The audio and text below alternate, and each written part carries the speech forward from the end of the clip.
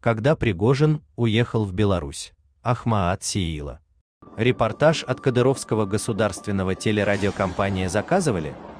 Отметим только одну вещь о оперативности Кадырова и его бичей.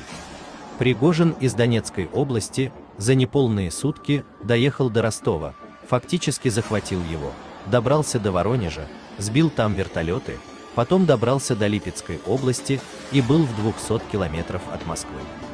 После чего развернул свою бригаду и поехал в Беларусь. Получается, в общем, проехал где-то тысячу километров.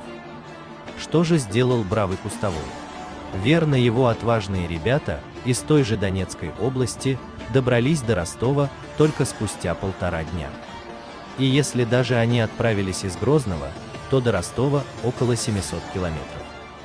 Напомним, что воители с женщинами, когда действительно хотят добраться до места, делают это крайне быстро. Зариму Мусаеву из Нижнего Новгорода они доставили до Грозного за неполные сутки, хотя расстояние там 1800 километров. Поэтому приходим к выводу, что кустовой люля просто в очередной раз испугался. Это вам не с больной, взрослой и безоружной женщиной воевать. Ассаламу алейкум. А, Мы по приказу Верховного Главнокомандующего Владимира Владимировича Путина и главы Чеченской Республики, Герой России, генерал-полковника Рамзана Ахматовича находимся в городе Коломна.